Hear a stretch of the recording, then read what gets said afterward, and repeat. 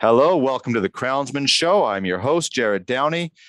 It's going to be a very interesting show. We're going to be discussing, and I want to get this right, significant changes to be aware of for capital deployment in Alberta in 2021. Now, obviously, there's going to be a there's going to be some energy focus on the show, but I I think it's going to apply to across Canada, of course. So that's why this is going to be a feature on the Crownsmen Show.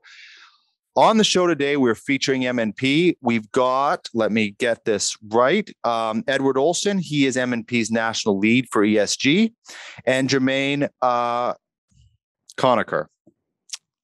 I, I knew, I, sorry, Germaine, when you come on, um, I knew your name and then I screwed it up. Germaine Conacher is the national lead of the duty to consult practice at MNP. So usually I just sort of jump into it, but I actually want to read off sort of an intro of what we're going to discuss and then we're going to jump into the advertising. So uh, last summer, the Alberta government released uh, Alberta's recovery plan to create jobs, build capital and diversity, and diversify the economy. Key elements of this plan included creating jobs and investing in energy and infrastructure. This plan is well underway, but also requires private industry, including the energy industry, to invest right along with government. But the investment and capital build environment is changing rapidly. Don't we all know that? And significantly. So today, I have MNP on to sort of unpack it. We're going to co- cover environmental legislation and regulation, industrial, uh, indigenous consultation, and ESG, uh, and the connection to raising capital. Before we do that, I'm going to hand it over to Gowdy for the sponsors, and then we're going to jump into the interview. Alrighty, so today we've got Savona Equipment. Did you know that Savona Equipment is an electrical supplier in both Canada and the United States? Their electrical inventory includes breakers, disconnects, TEFC electric motors, starters, TECK cable, cab tire, motor control centers, and transformers. For your new and refurbished, refurbished electrical equipment, visit savonaequipment.com where you will find more equipment every day. Next up, we also have SolarSet. Introducing the new SolarSet Fold, the new foldable frame solar system brings power to your residential and commercial property and can be shipped worldwide. Like all SolarSet products, the SolarSet Fold comes turnkey, pre-assembled, and is easily transported and installed. You can learn more about the SolarSet Fold and their full line of amazing solar systems at solarset.com. And of course, we've got Power Zone equipment. When you need a specialized team of world class engineers for your oil for your oil and gas pipelines, dewatering, or any fluid handling needs, you want to visit powerzone.com. In addition to their inventory of rebuilt pumps, motors, engines, they also have an amazing team to design and engineer your systems, no matter the challenge, no matter the location. Get in the zone with PowerZone. Visit them at powerzone.com. Okay, thank you very much, Gowdy. Welcome to the show, Edward. Welcome, Germaine. Good to have you on the show. Germaine, I my apologies for uh, screwing up your name to kick off the show, but it's uh, good to have you both on. Thank you. Thanks, Jared. Um, okay, we're going to jump right into it. Um, we're going to kind of section out the show um, between um, sort of your both your specialties. So maybe uh, Edward, we'll start with you. Where do you specialize um, at MNP, and then Germaine will jump over to you. Just sort of a, a couple minutes from both of you to sort of to kick off the interview. Yeah, thanks, Jared. Appreciate that. Um, like you said, I'm, I lead the sustainability practice here at MNP, and I've been involved in all aspects of sustainability over the last 20 years. This is everything from environmental audits, uh, helping to design environmental management system, that morphed into measuring and assessing carbon credits for trading.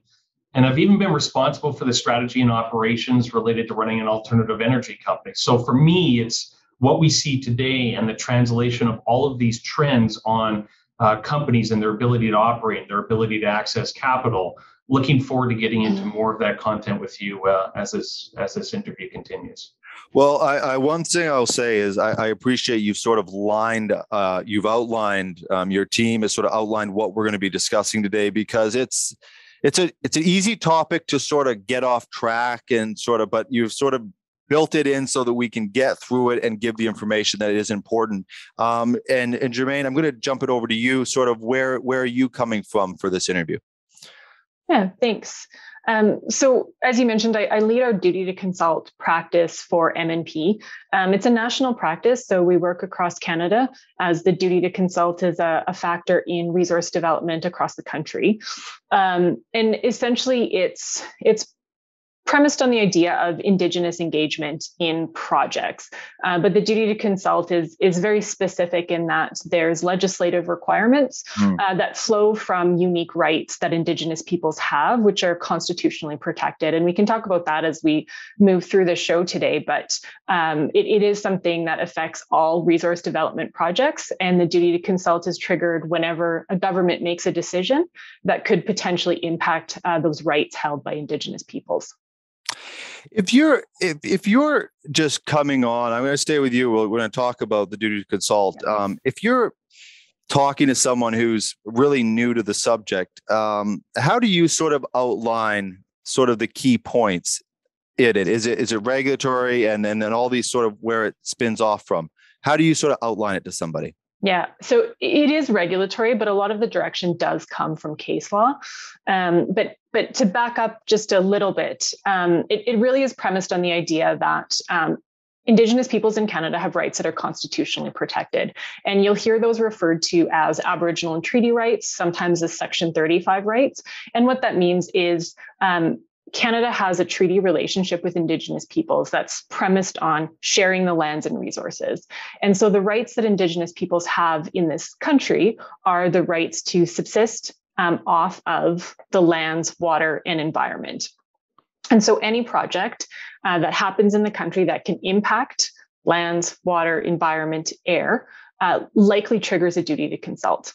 And that duty to consult can be um, variable, bigger, smaller, depending on the size and scope of a particular project. Uh, but it typically plays out in the regulatory process because the regulatory process is designed already to assess the size and scope of project impacts, um, as well as provide a decision by a regulator on whether or not that project can proceed. So the, the trigger for the duty to consult comes from that potential to impact those unique rights, um, but it is typically woven into the regulatory process. So that's why we see it come up time and time again in natural resource development projects. We hear about it when new environmental legislation is passed.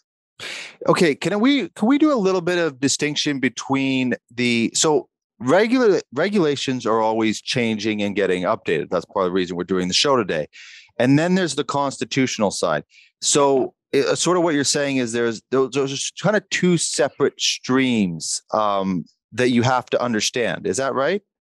Uh, somewhat. So, if you think of the constitutional piece as uh, really broad, so what's in the Constitution just says um, the existing Aboriginal and treaty rights of the Aboriginal peoples of Canada are hereby recognized and affirmed. So, they exist, they're protected.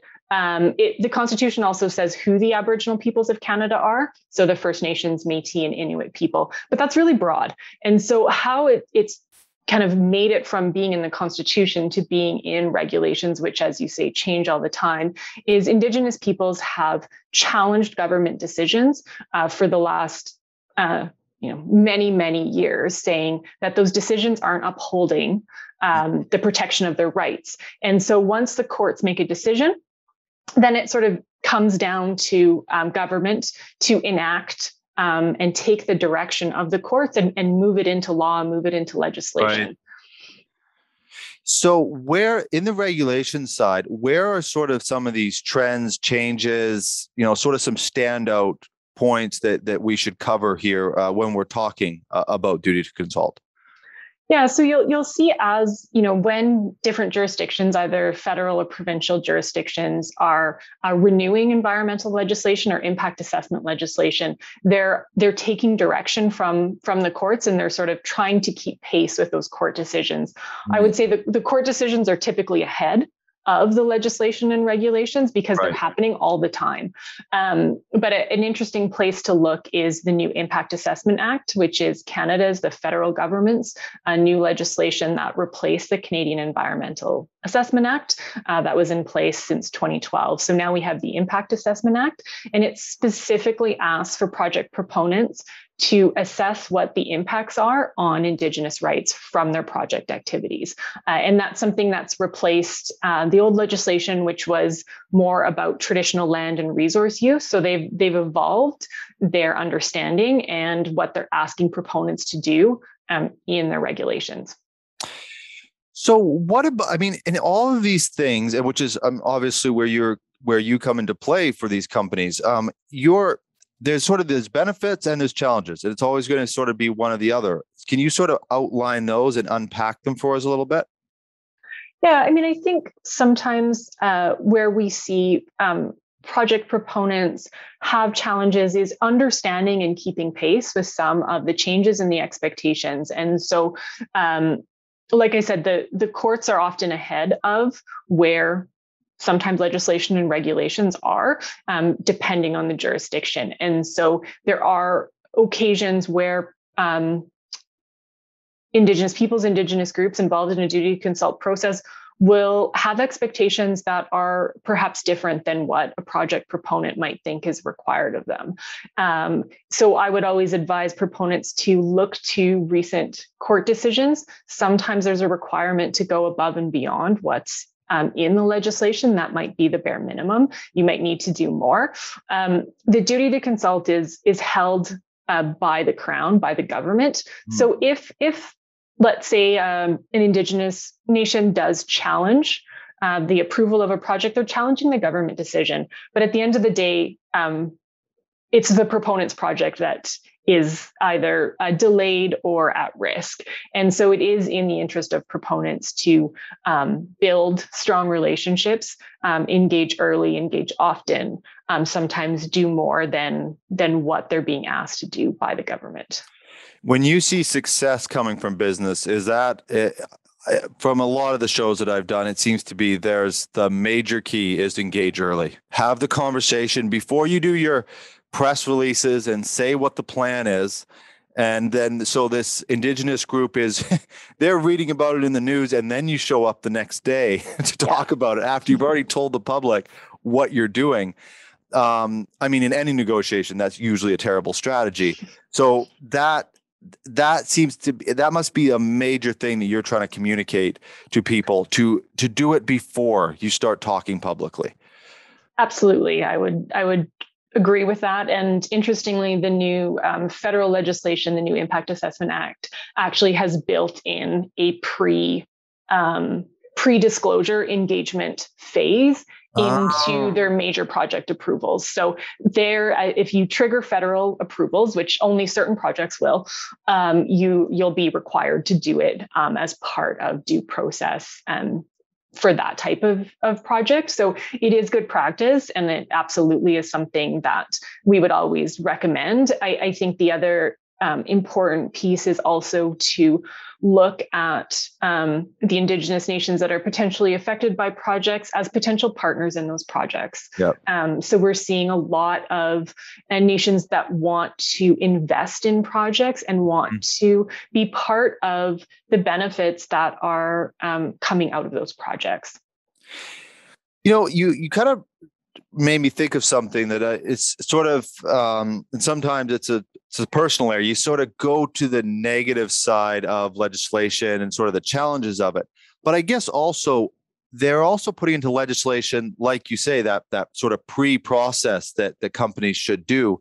When they start to see that that works they're also putting that into legislation and into the regulatory side of things so that companies actually have a, a, a better blueprint forward because they might not be purposely doing something wrong in the process, but if it's actually legislated in, now they know the steps that they can follow. I guess that's the upside that there is as well, right?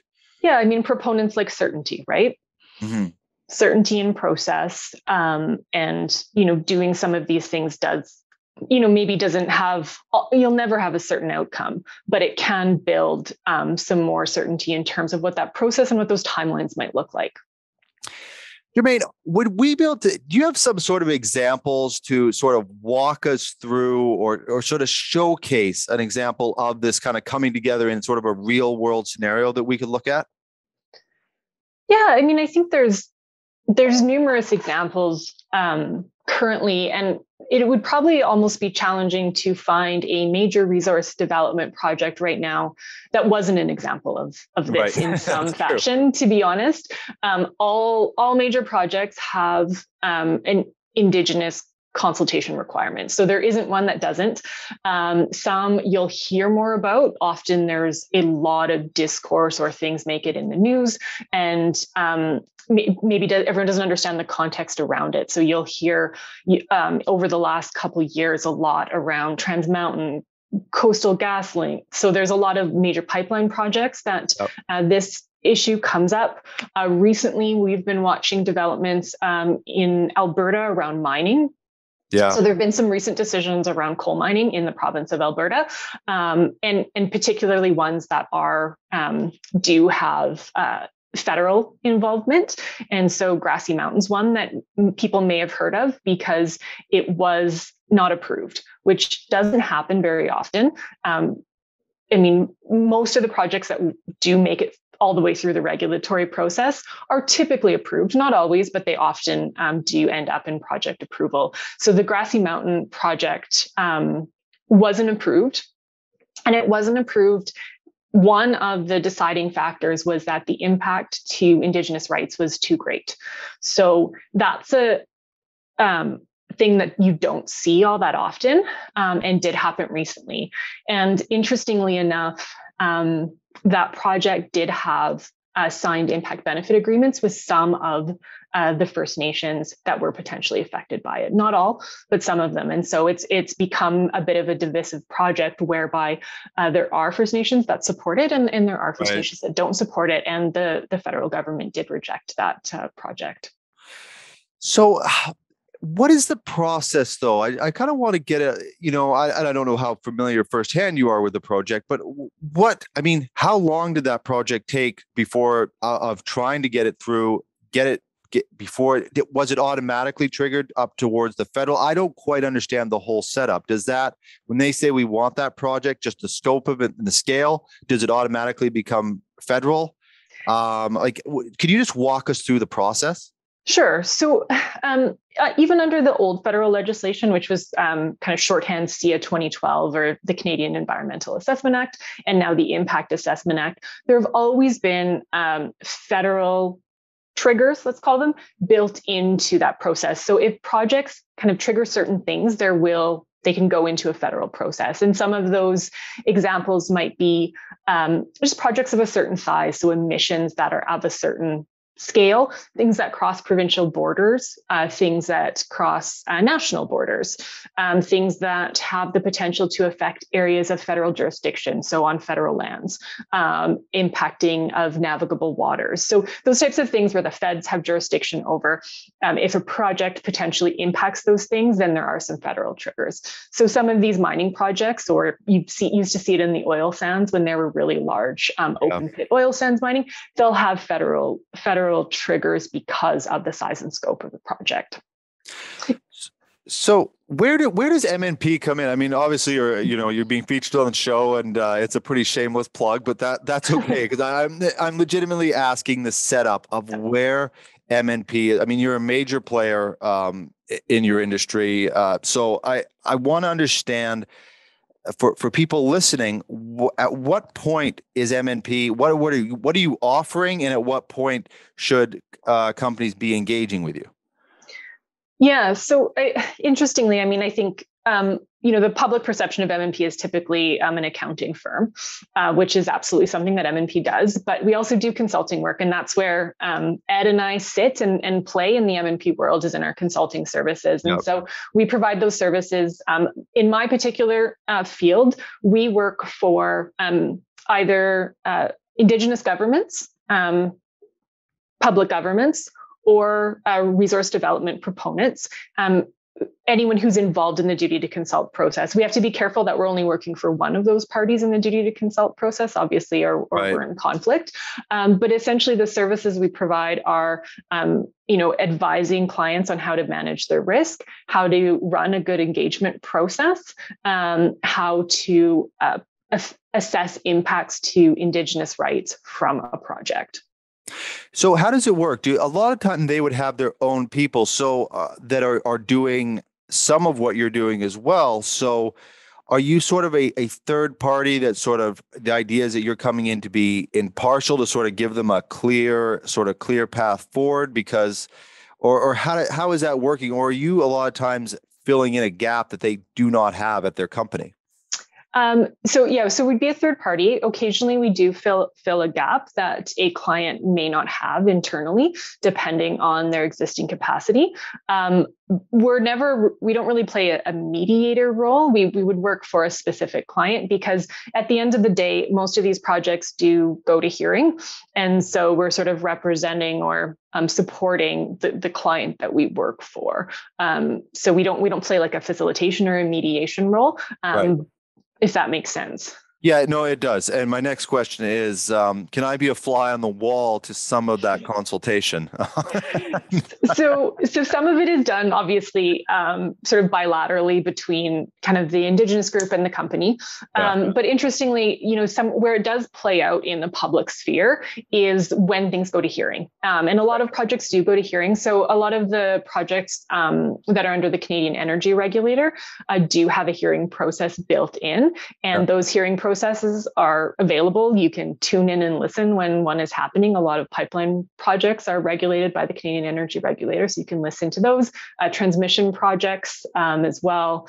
So, so that's kind of where you can sort of listen to um, the evidence that's being put forward by a whole bunch of different parties uh, who have an interest in these projects. I was wondering when you're saying about that, when it is going to a hearing, is that because there is a, this might be a bit of a dumb question, but is is it because there is a conflict or because they just want it to be resolved through that system? Does it ever just go, we're not really sure how this should go, so we're going to, or is it always because of based on a on a like a clear conflict of two opposing positions? It depends. So depending on the jurisdiction and the process that's l- laid out. So some processes have a, a, hearing built into them as part of due process. So they're going to have a hearing. There will be people who are interveners um, on the project and will come to say, we support this, we don't support this, we have concerns about this. And it's just it's just a part of their process. Um, but in other cases, sometimes a hearing can be triggered because of conflict. Right. So you can start a process where there's um, you know documents are going to be reviewed, they're going to be put on the record. Um, but if it becomes quite contentious, the regulator may choose um, to put it to hearing, or they may get asked to go to hearing by a number of interveners and respond to that and say, okay, well, we'll have a hearing to um, put this before a panel. But if we hear a hearing, we don't need to not just automatically assume that oh, this is a conflict, that this is all negative. That it, it could just be that that's the process that's that's most beneficial to it. Absolutely, and it gives um, not just Indigenous groups, but um, anyone who has uh, is potentially directly affected by projects, um, the ability to have a say to the panel. And like I said, an intervener doesn't even necessarily mean it's in conflict. You can have interveners who are intervening on behalf of a project. It's it's very interesting, and I think I need about another hour of uh, of questions. so, but uh, but I don't want to forget about Ed. So Ed, I'm gonna, I'm gonna thank you, Germaine, and uh, I'm gonna jump it over to you know, two thank you for giving me like two massive topics to cover on this show, by the way. so now we're going to go the simple one of e, uh, of ESG. Um, so thanks for coming on.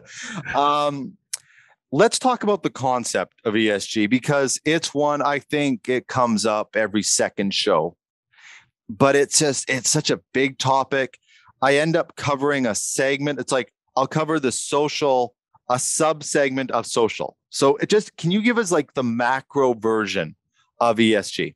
Yeah, Jared, here, here's how I'm going to boil it down for you if I could. ESG is a cluster of non financial factors that have a financial impact. Right.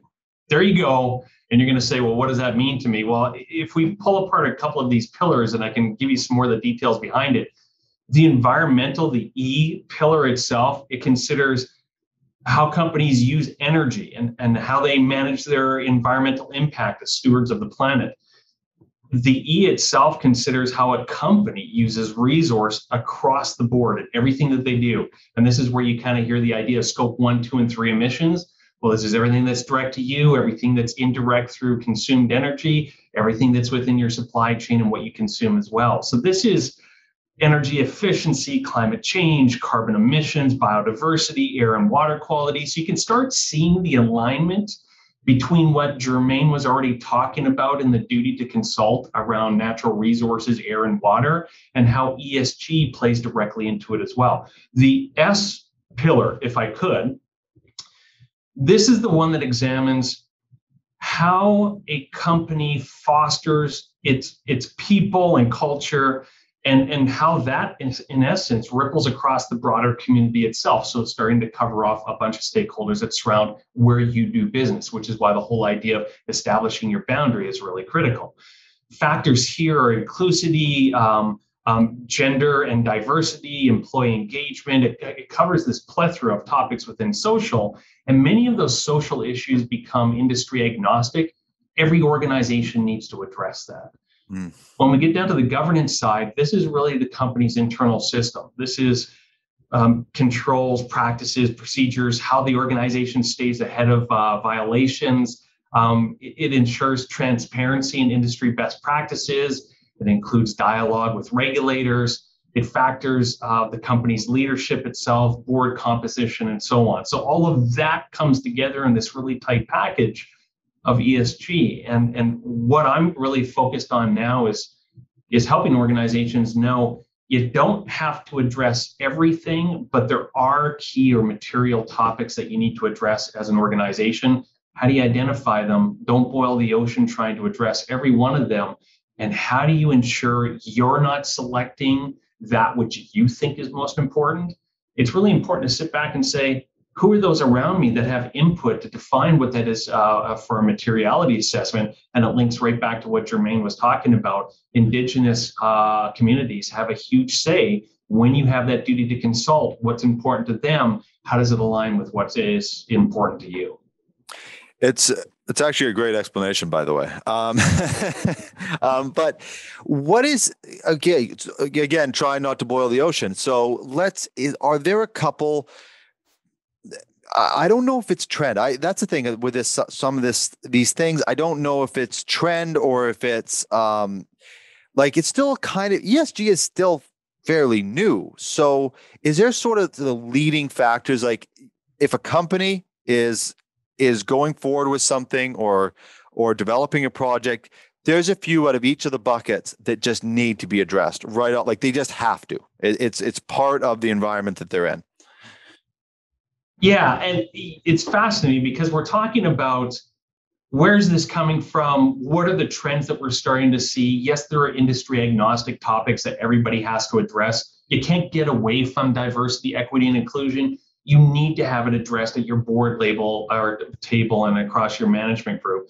If you're impacting Indigenous communities, you have to have that duty to consult. And, and when we look at the duty to consult, it's not a well, did I talk to an Indigenous community? Great, I got their input. We're moving forward with our project. This is an enduring relationship that has an impact on, yes, ownership uh, of Indigenous communities within major capital projects as well. Where we're seeing some unique differences is this whole environment of even if you just pull out one of the drivers of accessing capital, and you referred to that in the introduction to this, this session, the ability to access capital is changing under this whole guise of sustainable yeah. finance you know the yeah. principles for responsible banking and you look at banks across canada you look at banks around the world they're all committing to it and what comes with it is this whole commitment of well i need to hit net zero financed emissions by 2050 and in order to do that, I'm adjusting where I'm going to lend and to whom I'm going to lend and the cost of that lending. And some banks are even getting to the point where they're cutting out certain industries and sectors.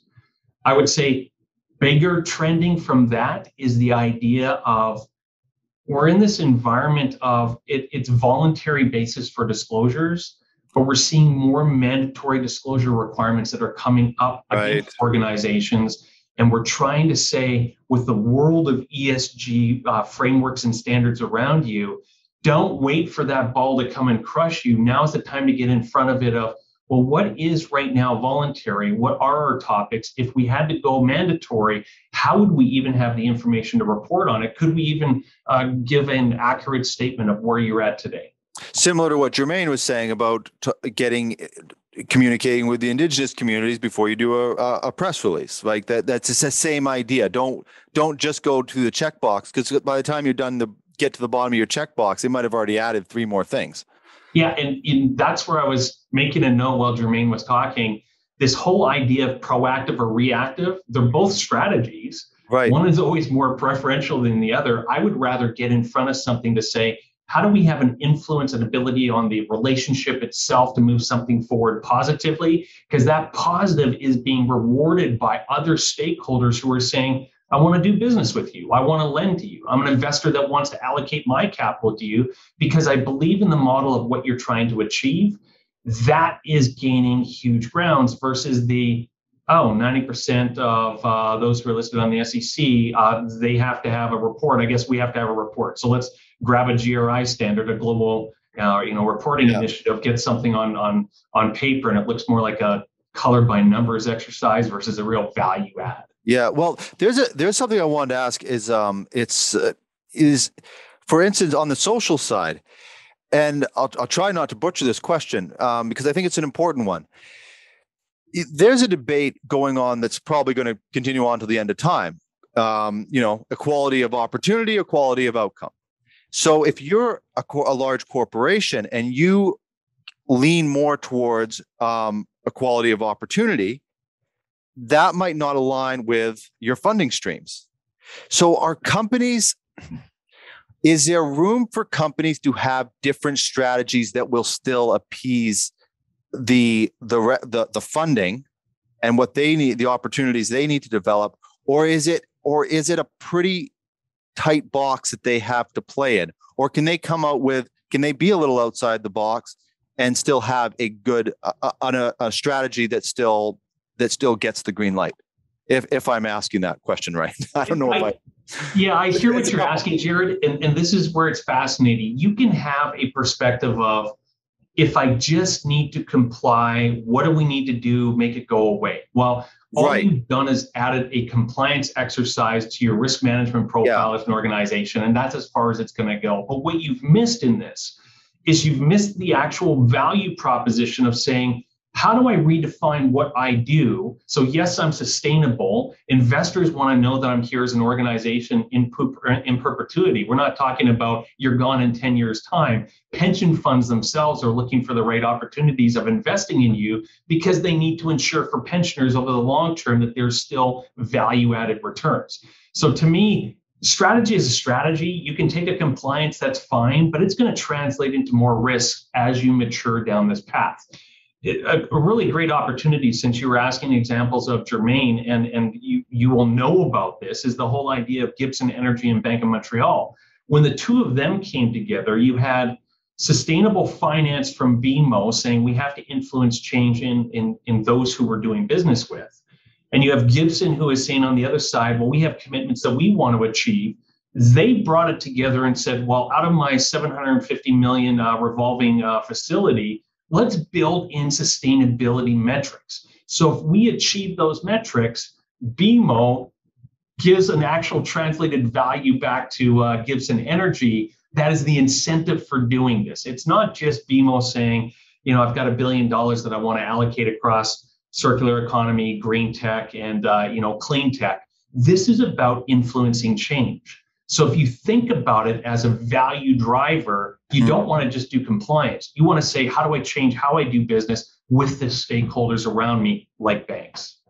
Right. And can and and in that example, can companies then can they also influence change to get ahead of the curve as well? Can they are they getting listened to to say, hey, we've developed this strategy and and now this now this can become industry standards?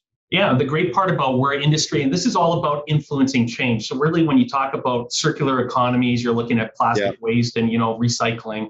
But there is a circular economy globally that everybody, if they're taking the mentality of passing on an influence to make change, that cascades down the entire supply chain. So who you acquire goods from, how are you influencing sustainability and contracts with them? If you are looking at natural resource consumption, how are you protecting it and ensuring those who do business with you are protecting it at the same time?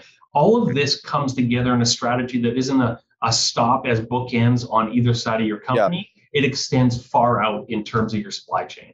And where? What about Canada, though? Uh, specific to the Canadian market, uh, of course, there's this global. I mean, ESG is a global thing as well. So, where does sort of Canada stand? And I, I think a two part to that question: Where does Canada stand on the regulatory side of it? But also, where should the business leaders? You know, I'm talking about the C level executives. What do they need to be sort of setting up? What What are the steps that they need to take uh, based on the the environment that Canada's in? it's it's interesting where we're at in Canada. So I sit on uh, CPA Canada Sustainability Reporting Council, and we're looking at changes that are coming globally to Canada and using Canada's uh, voice to influence abroad. But we're not quite at the point of uh, the UK. They're working towards their net zero commitments as a country and are mandating uh, reporting across the economy, and they're setting 2025 as a date. So there's the mandatory side. 2025 is not there yet. that's that's quick. So if you look at it here at home uh, in addressing the E of ESG, Canadian securities administrators, they did create guidance in 2019, and it, it, helps companies in disclosing information around climate risk. But it's amazing how many are saying that didn't go far enough. And just uh, this year, uh, this is a mouthful, but the Ontario Capital Markets Modernization Task Force, let's just call it the task force, they called for an overhaul of Canada's securities regulator. And they said, among many things being requested, you got to have more stringent climate related reporting requirements. So if you're publicly listed, the influences on minimum expectations will continue to mm-hmm. grow and it will become more of a mandatory requirement. So that, that's just to give you a little bit of an idea on the E.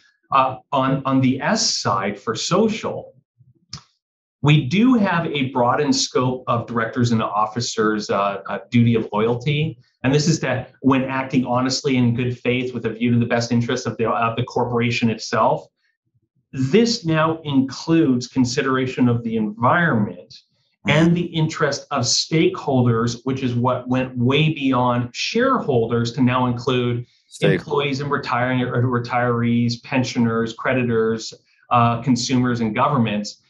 And if you look at the timeline, this goes back to a decision by the Supreme Court in 2008.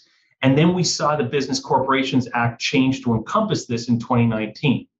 Um, if, if you look at the governance pillar, January 1st of 2020, the Canada Business Corporation Act also required corporations to disclose diversity in boards and senior management. So, do I see this as a limitation on the changes? This is all that's happened, that's all that's going to be there there's a lot more that's coming. So, considering mandatory, considering the opportunities to drive value, this is where organizations and senior leadership teams with the board really need to put on the hat.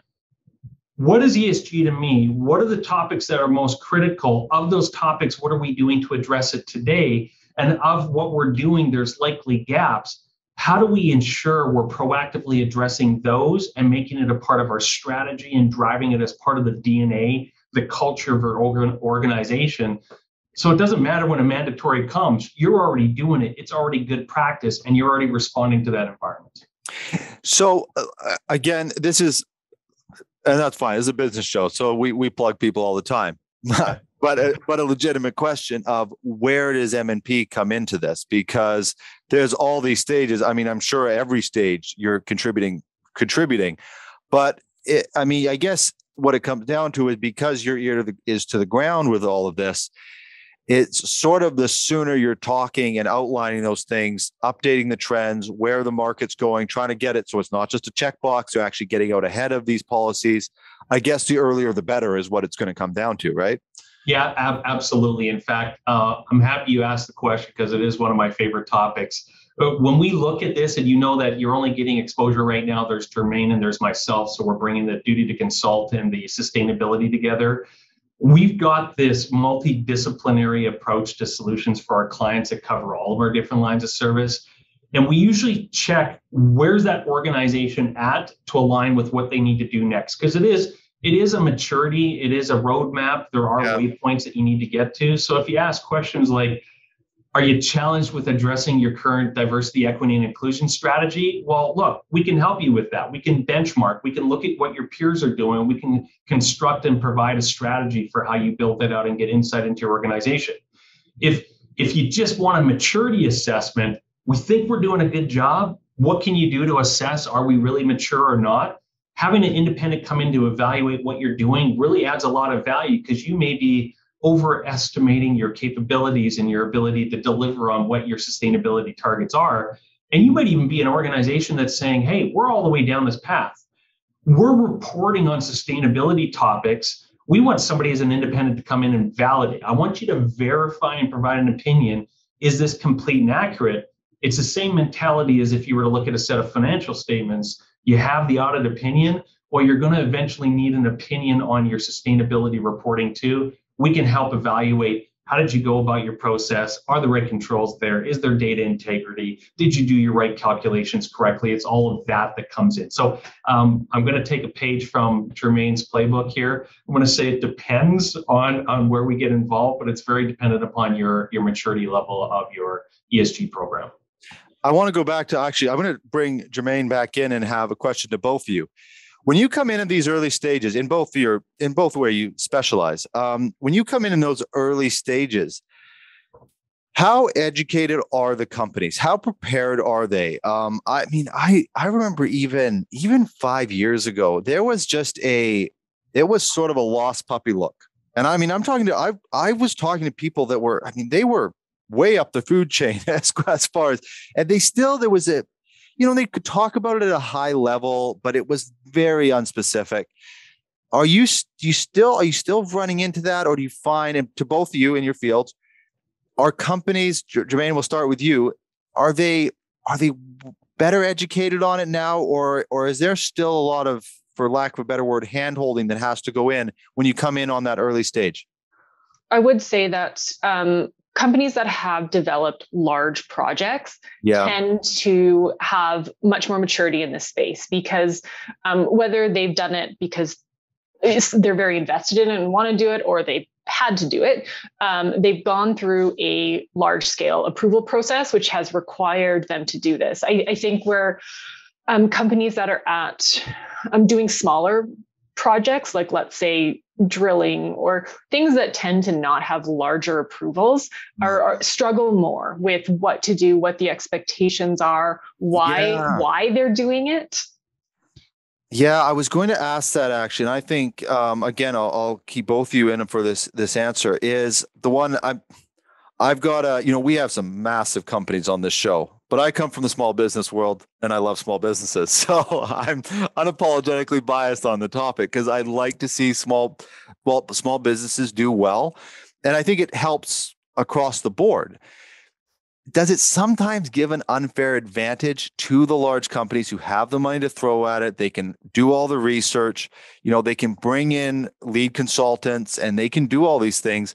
And the smaller companies, it, it's much more difficult for them. Is that is that a legitimate concern that we can have? I, I think that's fair in the sense that um, it, it, does play out like that, where to um, to have a typically successful or well established Indigenous engagement program, um, you need capacity internally in your organization and you also need to be providing capacity to those that you are engaging with mm-hmm. um, because uh, indigenous groups largely do not receive sufficient capacity funding from government to um, participate in these types of major processes so right. when companies are small and are struggling to kind of with capacity both on their own side as well as capacity asks that are coming to them, um, it is much more challenging to have a um, fulsome process and a meaningful process. Even if the intentions are good, that's that's the thing. The, the intention will be good, but just the process is not in place.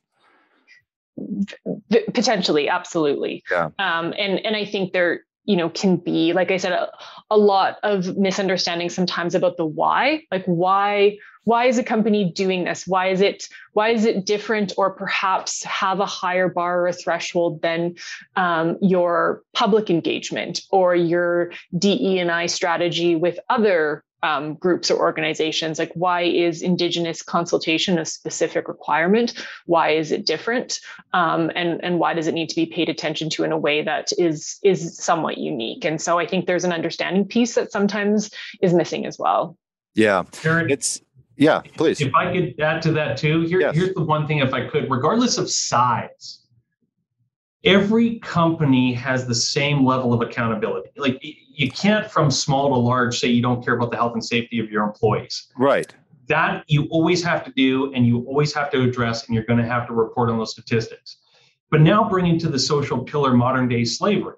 You as a smaller organization may not be exposed to that in your supply chain, but as a bigger global entity, because you're purchasing uh, from a, a wider um, array of suppliers around the world, it's something you have to address. So there's there's a maturity here as topics come across the table. Uh, where I find that some organizations say, "Oh, we're too small, we don't want to address it," is when you get into the emissions side of scope one and two. Large and small say, "Yeah, we can nail down scope one and two, but I don't want to address scope three because it's the whole supply chain that's too difficult to find. So sometimes even the large should be doing scope three, but they're cutting it off.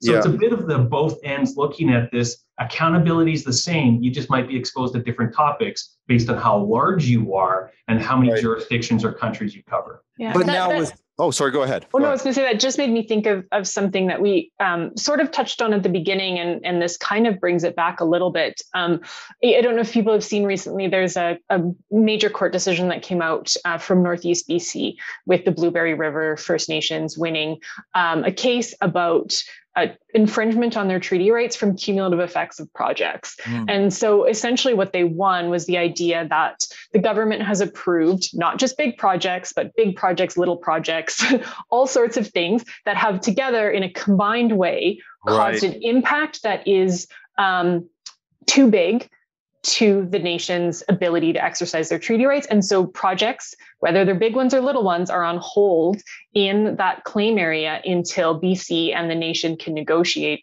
a path forward and a way to manage those cumulative impacts. So little players are now being brought into this, whether um, they have that capacity or not, because the cumulative effects argument is is now saying it's not just your your little well by itself might not do a lot and that's kind of been the dialogue and discourse to date is well it's just one little thing.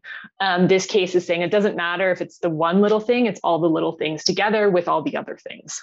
But now on the mnp side are you able because you're you're such a large organization and you have um, you're you're part of both these big companies on the indigenous side on the big energy in the big the big energy companies all these customers and, and collaborations you have are you able to help those small companies uh, in a maybe in a way they don't even need the help? Um, if I could jump in there really quick, we know if you're like contextualizing right now, the big guys, there's many commitments they're making. And if you go down that supply chain, you'll find those smaller companies that are saying, wait, how are they asking me for an ESG or sustainability framework? I don't even know what it is in the first place. Yeah. We're helping to translate the Greek of here's what they're asking to what yeah. you do today to allow you to move forward without throwing down a significant portion of money. We're helping almost being the interpreters to bring here's what it means. This is what you should be doing. Here's what you're already doing that helps you fill some of the gaps. Here's what you need to do moving forward so you can be compliant because we realize you're small and you don't have unlimited budget. And yet the game is changing. And if you don't follow the rules, you're likely to see changes to what your revenue sources are. So there's sort of two parts of this. Is if you're, um, like you said, on the that recent decision, I just forgot the name of it, um, where it's accumulative, where you mm-hmm. one small drill isn't a big deal, uh, one small well isn't a big deal, but when you put it all together, it's a problem. Do they? One question is, do they have a lot of recourse in that situation, or do they sort of just have to wait till the whole thing gets resolved and then and then sort of go through their check the checklist that's provided and then can small companies, if they're coming into it, they need to be having these discussions before the project even gets started. Sort of a two part. I'll, I'll hand it over to whoever wants to sort of take that. Um, so, I mean, new projects, new new things are um, on hold until a process is uh, figured out. Right. And so there will have to be some modifications that will likely be coming. Uh, for approvals in that area. Um, existing projects will likely you know continue on but oh, those okay. that are looking at building new expanding um, perhaps relicensing that that type of activity uh, will need to be considered in the new framework that's going to be negotiated between uh, the province and the nation and do you think it will be i mean obviously you don't you don't you don't have a crystal ball for it but do you think it will be something that the smaller operators along with the uh, larger ones can still competitively uh, start their projects, will they get a checklist that is is a is a doable doable thing for them? Yeah, I don't think I could answer that. I just know that um, they will have to comply with whatever is put forward. Yeah, yeah, it's going to be interesting to watch. I hopefully uh, when it sort of gets forward, it'd be interesting to have you have you back on to sort of unpack it and sort of see those steps. I'm sure it'll because it'll it'll cover both the ESG side and the Indigenous relations side, obviously. Um, so, Germaine, I want to kind of sort of as we come to a close of this this interview, um, sort of circle it back to Alberta. I mean, Alberta is it's affecting the the entire country, but just sort of bring it back home to that is how much because Alberta's recovery plan and moving forward how much does do they as a province need to start both both government and and companies need to think about that sort of that that cumulative effect and that sort of approach? How, how much of a key is that going to be? Yeah i mean i, th- I think it's it's it's going to be um, a really crucial thing to pay attention to or continue to pay attention to or pay more attention to. Um, you know both the the new federal legislation is is being triggered in Alberta quite frequently yeah. on major projects. Um, the federal government absolutely has a focus on cumulative effects and sustainability. Um, their new Impact Assessment Act is is probably really tied to a lot of the things Ed has been talking about. It's based on the World Bank standards. Yeah. Um, so it's it is looking at all of those things, um, and projects are being designated under federal legislation, um, despite Alberta you know not being thrilled about that which people may have seen in the news sort of Kenney um, you know mentioning that alberta would challenge some of that federal legislation and, and that it was sort of federal overreach. Um, so that's something to absolutely pay attention to as well as if we kind of bring it back to the discussion around the blueberry decision and the um, where the courts had said the province was not managing lands and resources to allow for the continued exercise of Blueberry's treaty and Aboriginal rights. And so, um, you know, Alberta is also covered by treaties, um, historic treaties. The you know Treaty Number Eight, where Blueberry One uh, continues throughout uh, the northern portion of Alberta, um, and Alberta has a lot of the same kind of management challenges in terms of all of the different projects being approved. So this type of um, scenario could absolutely um, be comparable to places uh, in the province of Alberta. And so I think companies kind of proactively looking at managing cumulative impacts, um, perhaps looking at offsetting um, reclamation activities, things like that, that help that management of those potential impacts, looking at their project development plans as a whole uh, rather than some of those one offs. I, I could honestly say I wish I was more of a, an expert because I feel like I could unlock a lot more because of what you know on the subject. Um, but uh, but Ed, I think uh, I, I kind of want to wrap it up with with your your answer on another question is for this Alberta specific that Alberta recovery plan how proactive does Alberta need to be on the ESG side, regardless of if they agree or, or not with it? I mean, we've all seen the news, so we, we know where the, that conflict is. But um, you know, it, it's it, it's probably more of a delay than uh, than than than them putting a stop to it. So, how proactive do they need to be realistically?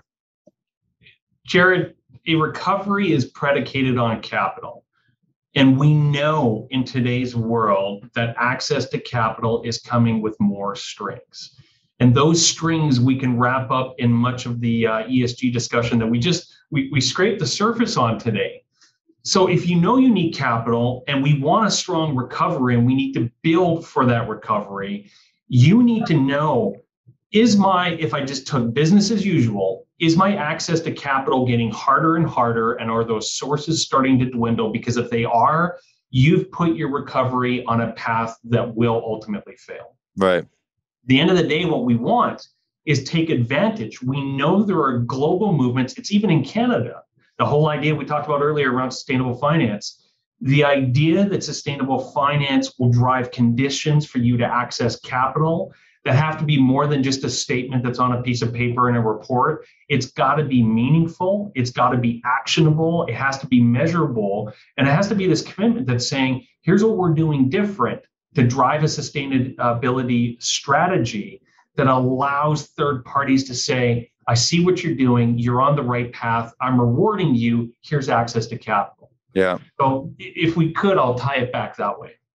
Yeah, it's uh, you know, and what came to my mind is I think um, there's a there's a movie. Oh, sorry, there's a movie um, where the the character says it's it's what people do. It's find someone to blame, and in this environment, it is it's sort of understanding the source as well. You know, you might see the the front line, the, the news might say it's a on the federal level, but the federal level is also being affected by world banks, the, glo- the the global economy as well. It's not just a matter of it's not just someone went into a room and said, "Oh, this is the way we're going to do things." Their understanding as a country that there's there's the global parts that are, are working, and that's and sort of trickle in federally and then provincially and then right down to the companies. So it's it's an interesting perspective and I think it's an important one to understand or else it's easy to get lost and you start sort of focusing on the wrong source of the challenge. Um that was my statement. I'm sorry. There was no question that came up. no, I just found it. It's it is interesting though hearing you talk about it. Ed is because I do think when I hear a lot of the conversations, and I guess I will turn this into a question to wrap up, is do you hear confusion? Both of you, I promise this will be the last question of the show. Do you hear confusion about where where the challenges are coming from? Uh, if I could start, Germaine, hopefully you're okay with me jumping in.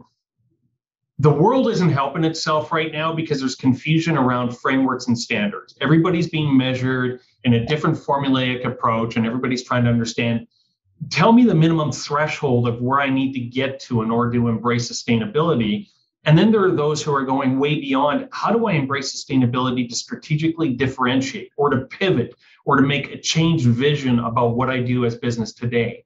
So, wherever you're at on this spectrum, there is confusion that's being driven by these large frameworks and standards. Yeah. There's confusion around, well, what should be important and how do I approach it? And then there's confusion around, well, once I get that handful of key topics, those ESG topics, what type of what type of strategic goal or outcome am I trying to achieve?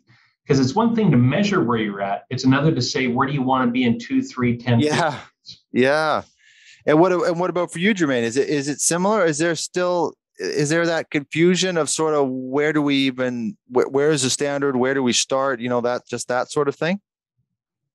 I think sometimes, absolutely. Um, I, I, think Ed was able to provide a, a really fulsome answer there. Uh, and I would just say, I, I agree. There's absolutely um, still remains confusion about um, what what a good consultation process looks like mm. um, and how what I, I think oftentimes it's thought of as you go through the you know you meet you share information you meet some more and share some more information and, and it's very process driven um, right. but what some of the recent court direction has been is it's not really as much like process is important of course but it's not process without substance isn't going to get you anywhere and right. so um, just going through the motions without any meaningful change or any meaningful um, input from those that you are consulting with will not um, is not a good process. so, yeah.